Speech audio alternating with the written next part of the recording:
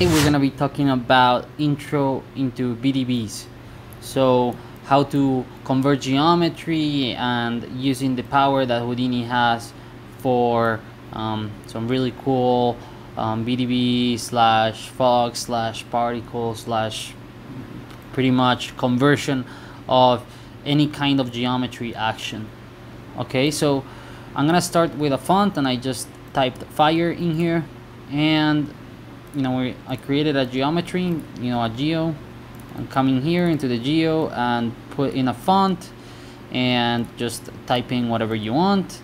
And uh, and then I created a poly extrude and I made sure to output back you know so that it's filled.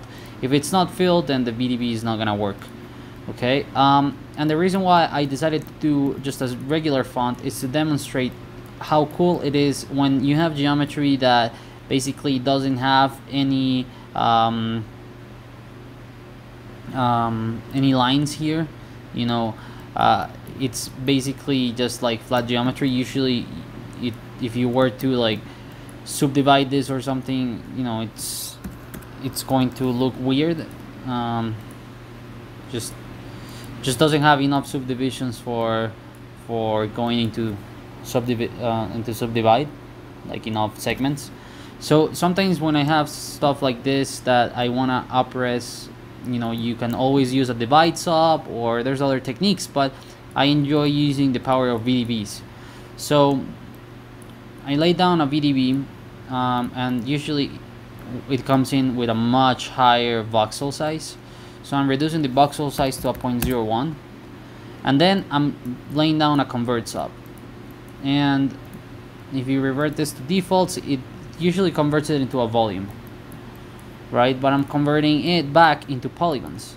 So as you can see um, it creates sort of a smooth um, organic geometry. Um, there's a couple of benefits that I've found when using this. Obviously uh, it's still low resolution here and there's ways of fixing that but uh, the benefits is how uniform the geometry uh, quadrangulated is set and it's almost like a, a different kind of beveling effect you know? So when you render it you know right now it's not fully sharp. It has so, sort of like beveled edges on some points like you can see it here. So that's kind of a, a, a cool effect that it creates. Um, now in this example we did the same thing. We turned it into um, the polygons into a VDB, right? But then I'm laying down a smooth sub, right? And then what it does is that it just like smoothens it out. And you can come into this and, and control how, how much you want to smooth um, your geometry and how much voxel size you want it to have, you know, like um, it, will create some very interesting um, solutions. Um, and for the sake of theory, in the past, um, VDB, Smooth SDF, is what used to be the inbuilt system for uh, smoothing mm, liquid simulations with VDBs. That's the old way that the liquid sims used to work. Um, but that would be on another subject, right? So, as you can see, we get some pretty cool results using that um, but it gets even more interesting when we combine this with points. So say we turn the geometry into a points from volume and we usually comes in with a really high point separation. So we want to reduce that to like a 0.01 or some 0.03 just so that we can check it out fast and then I move the jitter scale a little bit so that it's not fully uniform. Um, we're doing VDB from particles. So a couple things that you want to tweak here. Um, you want to make sure that the voxel size revert to defaults and point radius revert to defaults. So when you have it as defaults, the point size point radius is massive. So that's why I keep it kept it low here and it's kind of like a trial and error and the voxel size I reduced as well. Um, and then once we convert this back to geometry you see that we get a different result you know and then uh, so this is kind of a similar way of how fluids um, kind of work. Like you could make this look like some sort of fluid. You can see how that like if it, it was much more higher resolution and it moved like this plus a smooth it begins to give you some quite um, fluidy kind of results. And uh, and interesting solutions. And this is with a very very low point size okay? And here's another way that I, I use VDBs to create some interesting shapes. So if you come in and you grab whatever geometry and you also turn it into a VDB you can combine them. So when you combine and you convert you get some very different and interesting results. Uh, so definitely something to play with uh, with the subtract. It's kind of like a boolean boolean solution but it's going to give you some it's given me some really interesting results you know so so just something to test okay? And then so if we leave it at subtract you can get something like that.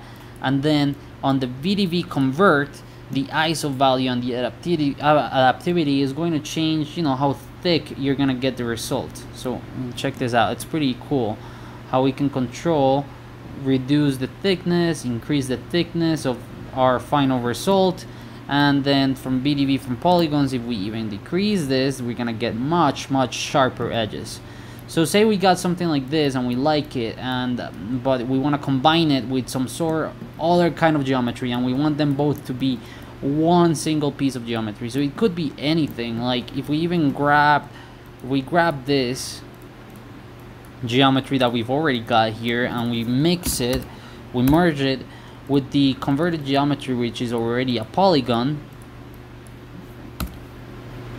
I'm going to show you we can intersect geometry and sort of blend it and have it feel okay so say we we've got something like that right?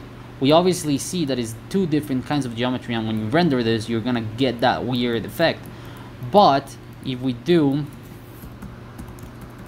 if we convert it back into a poly VDB it blends it.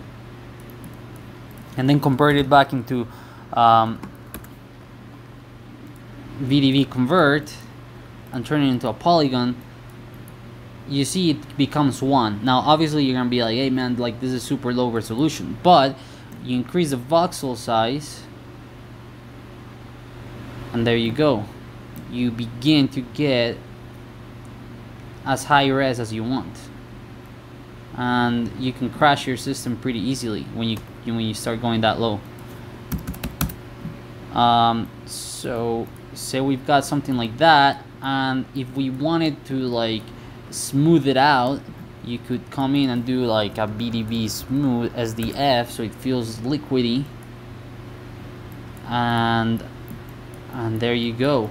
And you know it's even cooler when you begin to like move it and animate it because the geometry is going to actually um,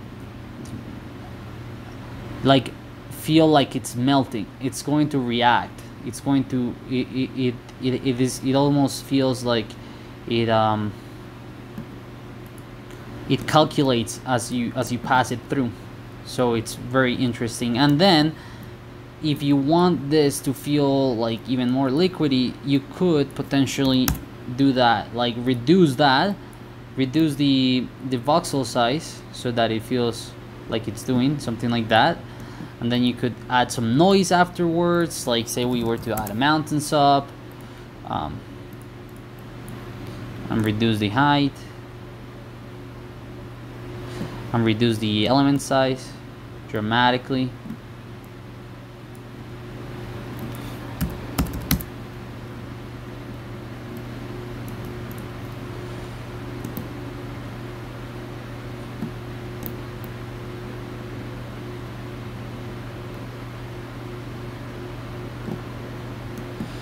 and let's go ahead and do a quick expression dollar f divided by 1 so that it animates over time.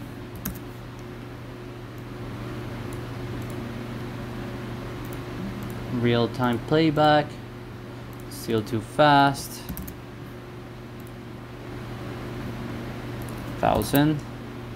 So we get that smooth movement there and then it's still pretty low resolution but then you could always do another VDB from polygons and another smooth and another convert and increase the voxel size. So so it's just fun to play with. You can come up with some really neat results. Um, VDB from polygons let's reduce that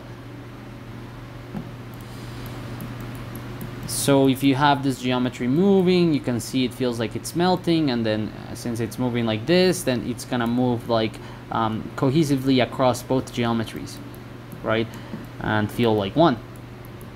All right so please feel free to leave any comments or any any thoughts.